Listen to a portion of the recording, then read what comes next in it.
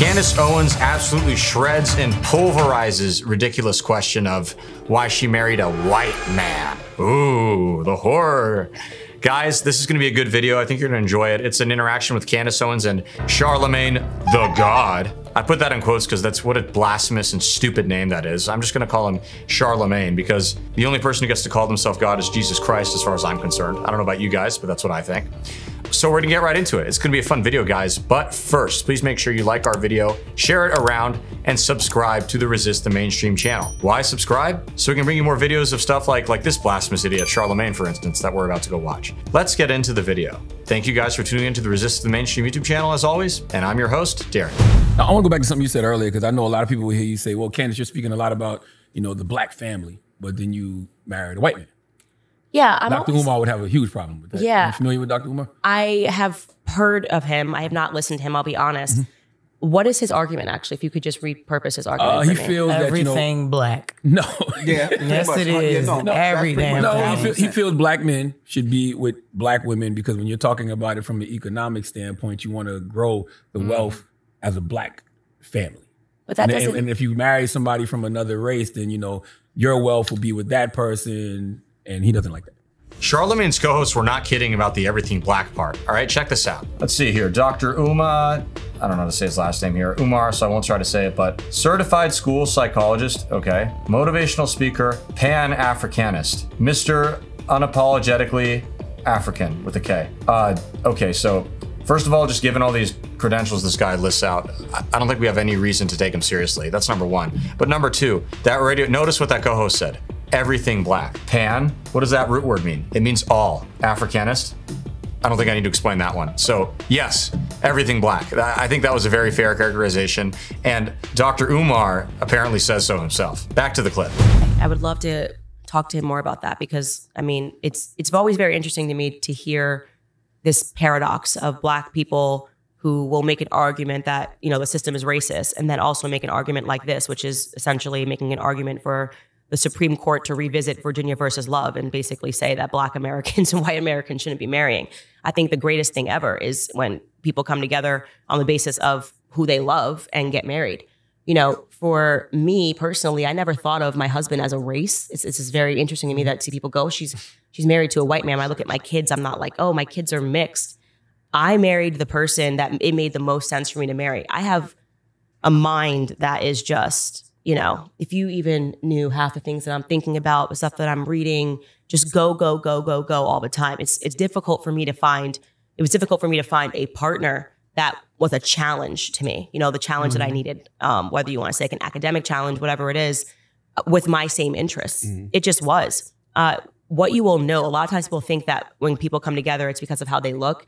Actually, I actually read this in a Thomas Sowell book, or maybe it's a Shelby Steele book. Uh, people tend to marry their IQ, which is interesting. You think like if you see two black people together, oh, it's because they are two black people, but actually they they are probably better matched based on their IQ.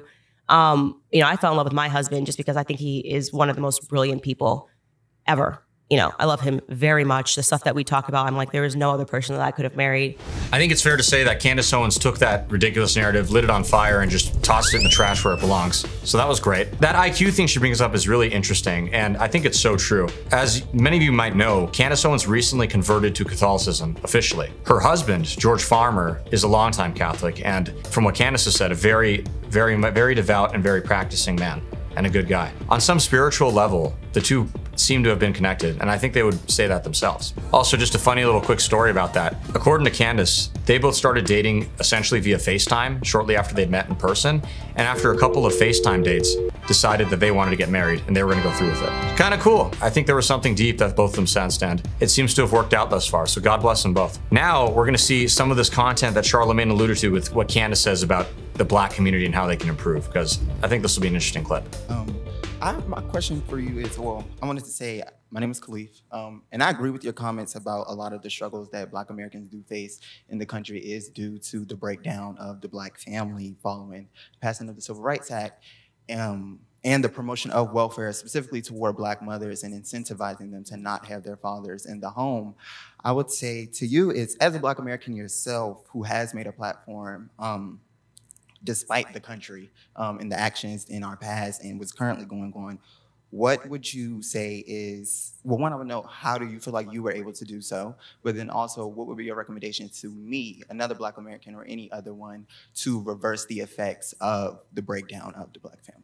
Great question. So i think a couple of things that worked in my favor. I'm my granddaddy's girl for better or worse. I mean my granddad was stubborn as the day was long I am stubborn. like I just saying to her, like I just I've always been this way. Even when I was a liberal, even when I had the wrong ideas, I just demanded the right to be myself. Right? I demanded the right to be myself and not be punished for being myself. Right? Uh, least of all, if I wasn't doing anything that was wrong. And that's kind of what's happened. And so the first thing that I would say is if you want to get ahead as a Black American, stop allowing the media to allow you to see yourself as a black American. Start seeing yourself as an American, right? Just an American, full stop. The second thing that I would say. I love that point about stop being a hyphen American. You know, in this case, of course, Candace is talking about African American, but it goes beyond that too. Just think about the last time you went on Instagram. How many young Americans on Instagram do you see where they have anything but the American flag in their bio? You know, so they, they might have Japanese, Mexican flag, Honduran flag, Peruvian flag, Chinese flag, whatever. Whether they're even calling themselves hyphen American, I'm not sure. They probably do sometimes. But there's always this emphasis on being different and sticking out and, oh, yeah, well, you know, I'm not just a regular American. I'm this, I'm that, blah, blah, blah, blah, blah. I'm from here, I'm from there. And it's insane. You know, there's such a lack of unity in our country. We have basically nothing in common as Americans anymore. Apparently, even considering ourselves American is something we don't have in common. So, really love Candace's point there about don't say you're this, don't say you're that, just say you're American. That's awesome. Is that it, when, when you start doing that, um, the relationships that you are able to build, because part of them corroding everybody's mind is to make them perceive other people as the enemy. It destroys relationships, right? And the relationships that you are able to build, which is very much what I did in my life, um, just by refusing the narrative. It became a superpower. It really, it really became a superpower. I was surrounded with friends that uh, inspired me, people that wanted to work hard and didn't want to have any of the political correctness nonsense in the middle. Like, what can we build? How can we build? The world is at your fingertips. If you are a Black American breathing safe, you're American breathing safe, like I said, you are the, the, most privileged that has ever lived on the face of the planet. That's the truth. Um, and as soon as you remove the barriers that have been put up in your own minds, you'll be able to see it for the first time. Thank you so much. Candace's comments just now kind of make me think about a bit about my own life and how at one point I decided I'm never going to self censor again. I'm just going to say what I believe when I want to, especially if I'm asked what I believe. And that caused me a lot of issues, you know, especially during the COVID time. I can't tell you how many family and friends I've lost because I refused to toe the line on the COVID 19 narrative. And that's a very sad thing. But you know what? At the end of the day, those people who kicked years of friendship or relationships to the curb because I wouldn't go and just toe this insane line, they were never really my friends to begin with. And being, you know, I'll use the word polarization here. And I don't mean that in a negative way. Sometimes you have to be polarizing. You know, it's like you got to stand on something if you want to have any dignity. And I found that even though I've lost relationships and friendships because of it, I've gained so much that I never would have gained. Gotten closer to people who I never thought I could have gotten closer to. Met amazing people, and it's a blessing. So great point there, Candace. Totally agree. And with that, let's wrap up the video, guys. We hope you enjoyed it. Thanks so much for tuning in. Be sure to comment below. Let us know what you liked, what you want to see next. We'll see you guys again soon. Thank you, and God bless.